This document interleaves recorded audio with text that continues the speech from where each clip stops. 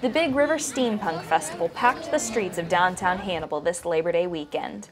This is the fifth year of the festival and it features many family events, vendors, and activities. Yet one of the largest draws of the event is the chance to dress in costume. Steampunk is a science fiction genre that incorporates technology and designs inspired by the 19th century industrial steam-powered machinery. The sky's the limit for festival goers in costume, many using recycled items to create their look. The Covington family traveled from Wentzville, Missouri for the festival, and Father Dale Covington says that seeing the different costumes is an inspiration for him.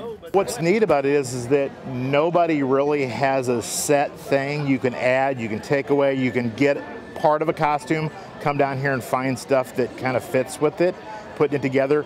And it's the creativity that's really cool with different people having different ideas and maybe things that you didn't even think about, but somebody else did, and you're going, ooh, I like that, I want to add that to mine. But these costumes come at a price. Some costumes at the Steampunk Festival took hours to make. One participant estimated it took 20 hours to put together his ensemble. Another participant said her outfit cost over $300 total. But Mother Lisa Covington says the outfits are a way to bring her family together.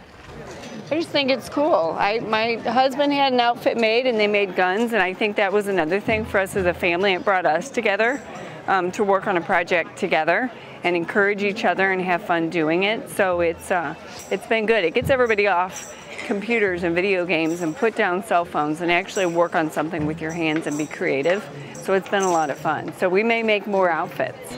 This was the first Big River Steampunk Festival for the Covington family, but even their son Devin said he was feeling inspired by the creativity of other participants. I've, I've seen some that I might want to maybe try and maybe what they've had I might want to add to mine.